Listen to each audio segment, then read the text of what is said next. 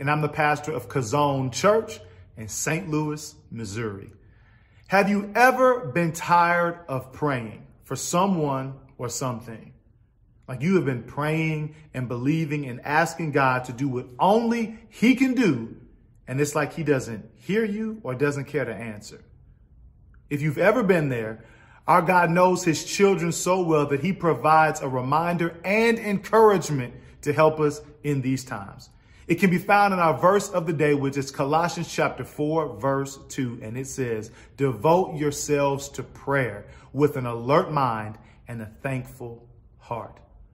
God, through Paul, tells us to be devoted to prayer. That word devoted, it means faithful, steadfast, persistent, committed. We want to be committed to prayer because when we're committed and devoted, it shows and expresses our faith in God, even in those times where we get weary.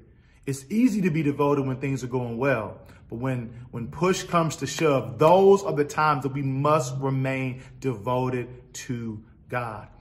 But he doesn't stop there with just being devoted or committed or persistent, but he says with an alert mind. What does he mean by this?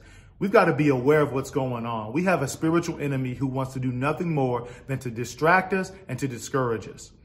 And so if we have an alert mind, we can recognize when he's trying to do that in our lives because he wants nothing more for us to lose faith in God. So we stay devoted with an alert mind, but not just to our prayers itself, but to the God who answers prayers. Why? Because he loves you. He cares for you. He knows what you need. He hears you and he will answer you.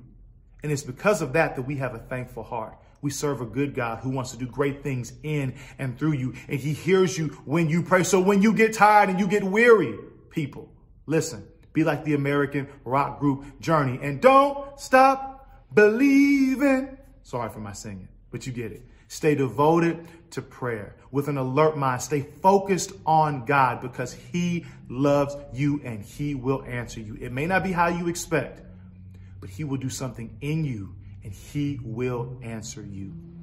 Have a great day.